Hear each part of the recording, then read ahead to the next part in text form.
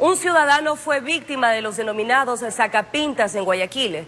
Tras salir de una agencia bancaria le robaron cerca de dos mil dólares. La policía en un rápido operativo detuvo a uno de los antisociales y recuperó el dinero sustraído.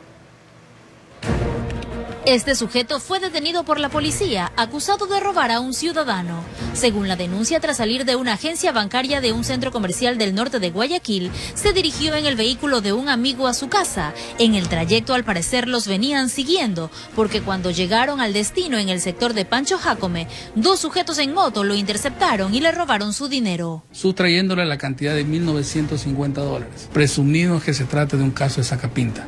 Mi jefe me dio una parte de las utilidades, entonces yo de ahí fui al banco a cambiarlo, llamé a mi amigo para que me vaya a ver al banco. Y ya nos embarcamos en, el carro, nos, venimos y llegamos a la casa. Cuando iba entrando a la casa, ahí llegaron dos en moto y uno se bajó y me encañonó. Y me dijo, sácate el dinero que viene sacando del banco, entrégame el dinero que viene sacando del banco. Ya, pues ya viendo el revólver que me encañona, yo saqué el dinero y se lo entregué. La policía realizó una persecución y detuvo a uno de los presuntos involucrados. La víctima recuperó todo el dinero que le habían robado. El detenido se bajó de la motocicleta, estaban con cascos negros, con chompas negras y le procedimos a, perseguir para poderle capturar. Y en el momento de la captura eh, le revisamos y encontramos el dinero que le había sido sustraído a este ciudadano. Sí, gracias a Dios, al dinero y el teléfono también que se me llevaron.